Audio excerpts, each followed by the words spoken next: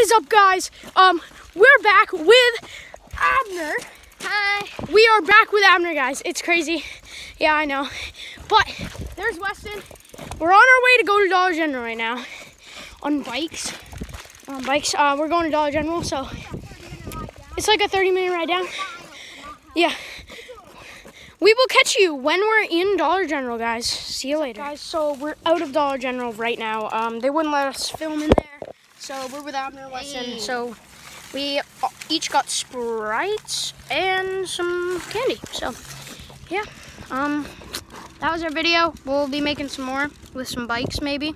Um, comment down below if you guys want some more with bikes. See you. Oh, no.